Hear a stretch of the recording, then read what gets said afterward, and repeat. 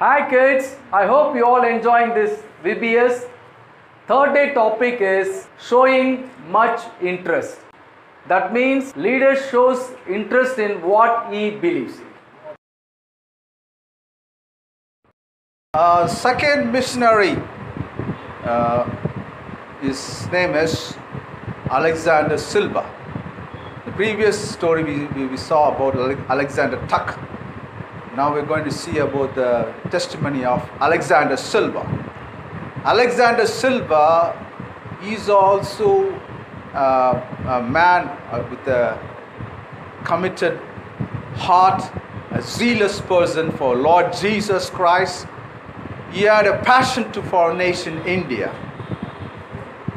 When he came to India, the needs that he saw is there are many missionaries al- were already working in India, but uh, believers and uh, and other workers, Christian workers, uh, they are just uh, simply uh, n- not concentrating on the other people groups. They were just uh, daily church goers, every week church goers. Or else you can say the, they are just few warmers.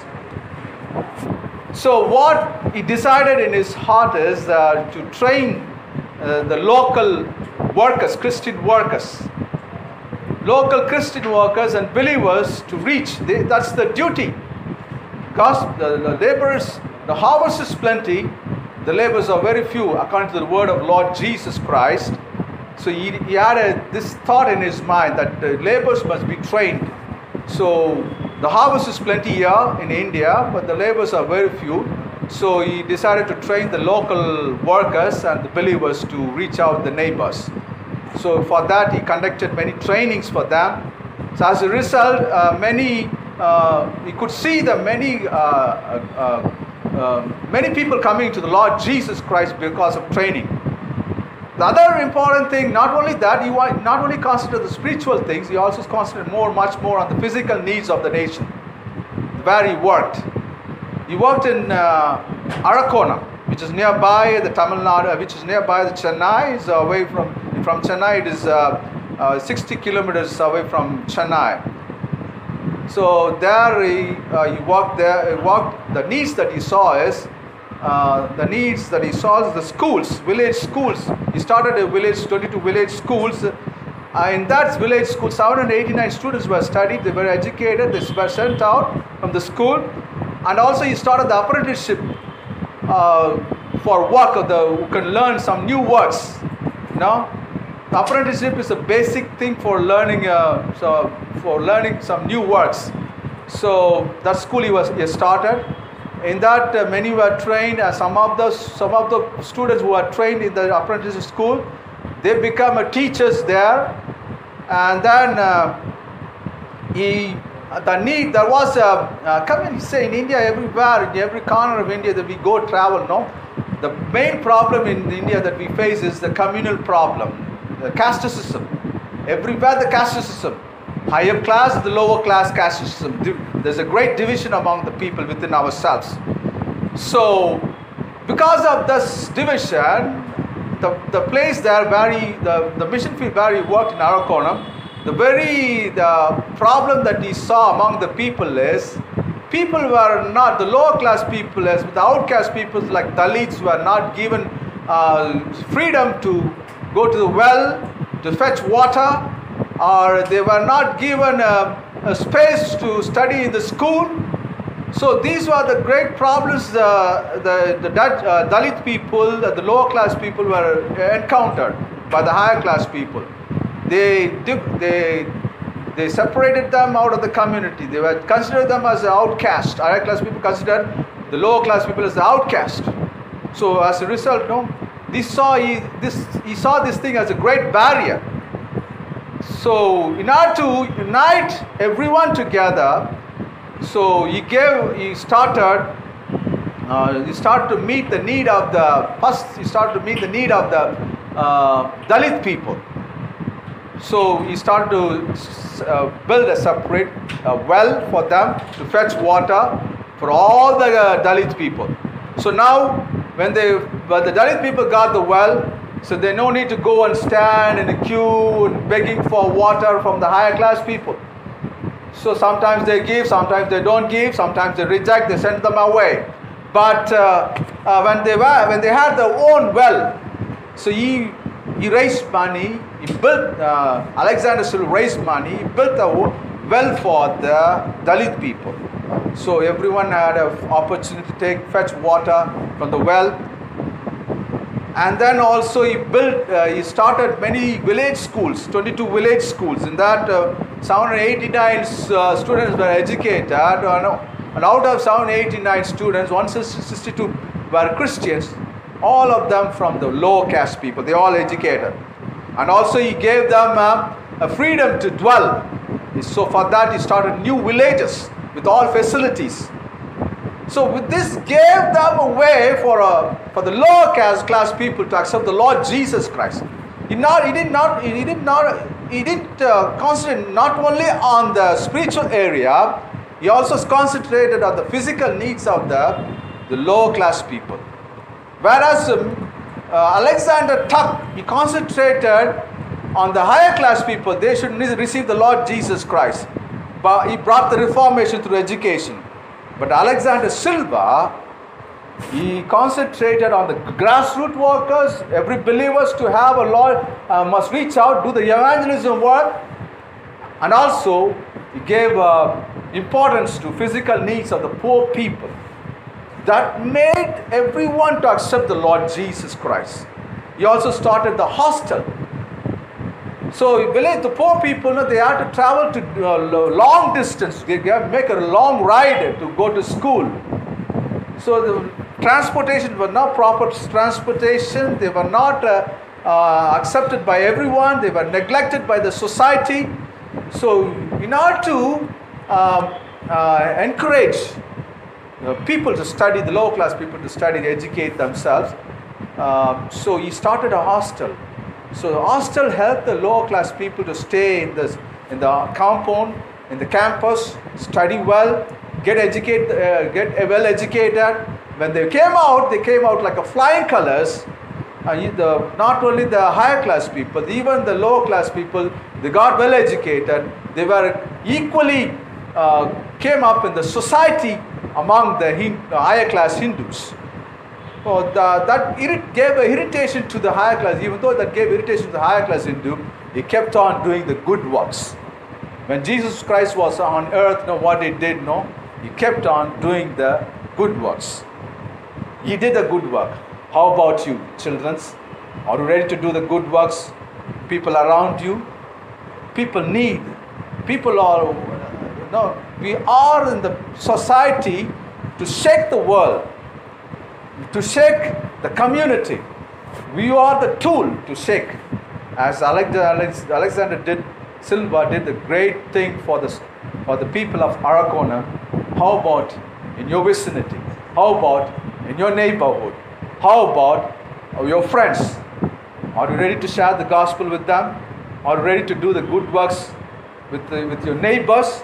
If you do the good works, as Lord Jesus Christ did good works throughout his, his life career. How about you? Are you ready to do the good works? If you do that, we can do great things for God. And also, the other physical need Alexander Silva did is he did he built hospitals, treated many patients.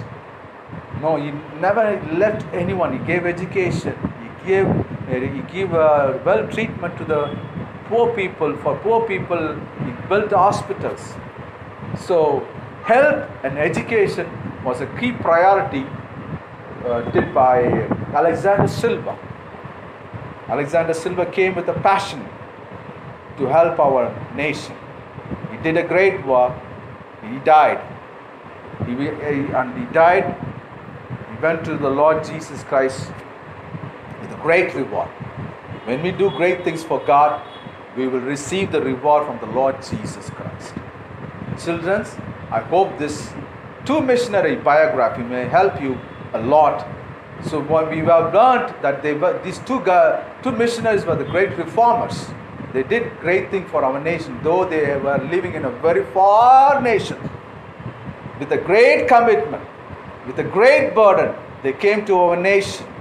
They, they sacrificed everything. They gave everything for our country. How about you? Are you ready to give everything for your for your own people? If you do that, God will bless you.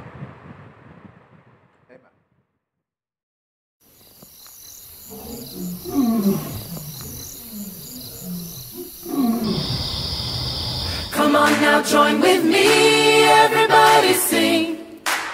I'm gonna lift my voice to glorify my King. He is a mighty God and worthy of our praise. Give him everything, he's good in every way.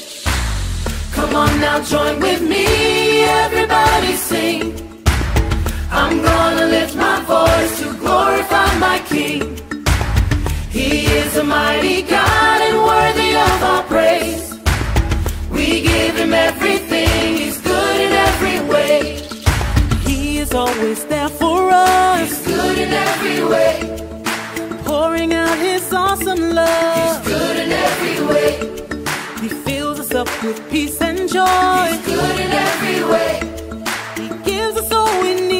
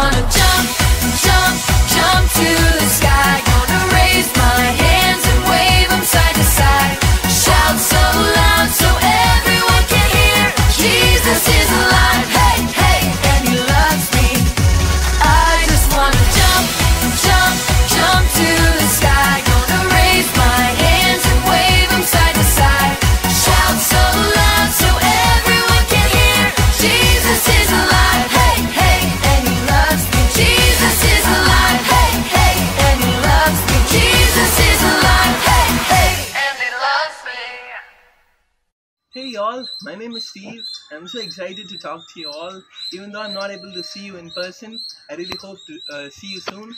Um, so we're gonna keep this interactive, okay? So I'm gonna say God is good, and you're gonna say oh yes, okay? You're gonna say oh yes, okay? So God is good. Oh Yes. Okay. You, uh, I can't hear you all say it, but I, I know you're good children, so I know you're gonna say it. So uh, throughout this time, I'm gonna be doing this. Okay. So let's get into what we have in store. So uh, all this time, like these past two days, we've been listening about how we need to have how a leader has to have vision. We learned about how a leader needs to be systematic. Now we're going to see how a leader needs to have interest in what he does. And we're going to look at a specific person in the Bible, and his name is Paul. So uh, I'm going to talk about three instances about Paul and uh, how he showed his interest uh, in what he did. So, Paul, as you all know, uh, he he, uh, he his heart changed. Jesus changed his heart. He spoke. To, God spoke to him, and uh, he started preaching the gospel. Right. So the first instance is where Paul goes to a synagogue. It's like a church for the Jews, and he goes and listens to, uh, listens to them. And after they finish reading the laws and the prophets, uh, the, the one of the leaders he said, if you have anything to encourage us about, just uh, just go ahead and talk.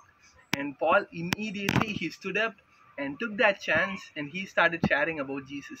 He shared about how Jesus was revealed even back in the Old Testament.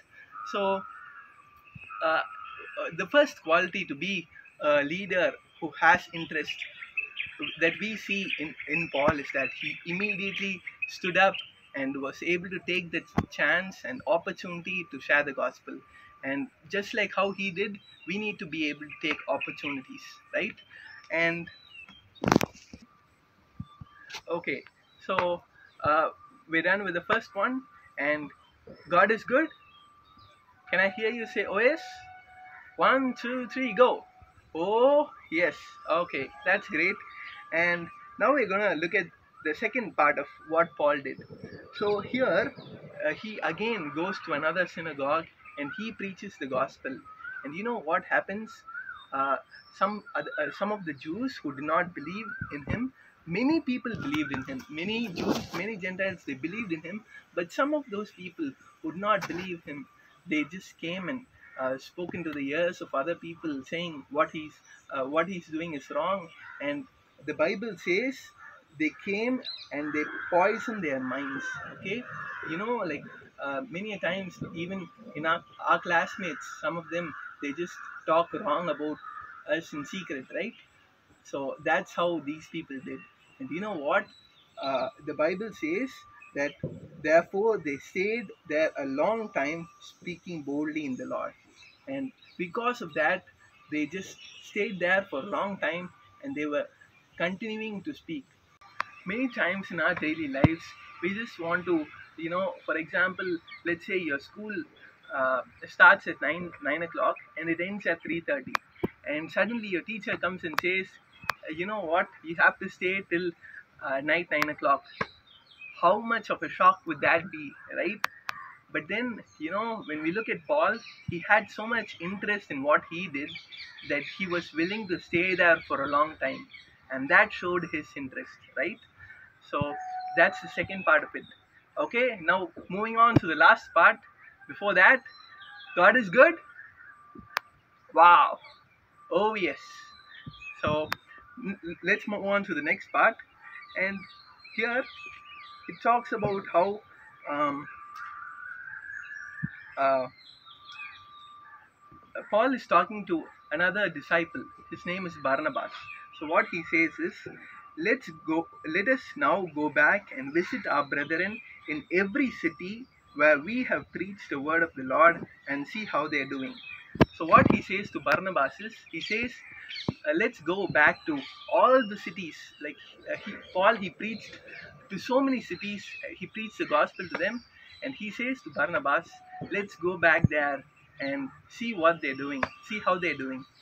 And like when we look at our lives, you know, when we want to just, uh, when we have work, we just want to quickly finish it off, and then we just, we, we would never want to turn back and look back at it, right? Uh, for example, like uh, after we finish our 10th standard exam, uh, and like we're done with the exam, would we ever want to go back to the same books and read it again? No, right? So that's how. Uh, but then when we look at Paul, he was not like that. He was ready to, to, uh, go back because he had so much interest in the people to whom he preached and he wanted to check on them. And this shows his interest. And you know, uh, especially when it comes to Christianity, like you know, uh, Paul, Jesus, you know, they had so much interest in people. They wanted to give their lives to the point that, uh, uh, uh, to the point of death, and they wanted to share the gospel. And uh, before we finish, let's just uh, get on to the memory verse. It's Acts chapter 20, verse 24. Um, it says, But none of these things move me, nor do I count my life dear to me. I don't count my life dear to me. Um, so that I may finish my race with joy. So, you know what Paul's race was? It was not just a running race that we do, it was a race where he had to share the gospel to people. And with that, he had a lot of persecution. People were hitting him, killing him, stoning him. But then, you know what? He says that I may finish my race with joy. He has joy in it. And that's the interest that he carried in him. And the ministry which I received from the Lord Jesus to testify to the gospel of the grace of God. So this is our memory verse for today, Acts chapter 20, verse 24. Let's just quickly pray and then we'll finish. Uh, Heavenly Father, thank you for this time that you have given us to learn more about you. We saw about how Paul was uh, ready to take a chance that was given to him. He was ready to boldly go ahead and speak to uh, speak to those people about who you are, and he was also ready to uh, stay for a long time. He, he didn't care about time. He didn't care about his life, and and he also was ready to check on the work that he already had finished.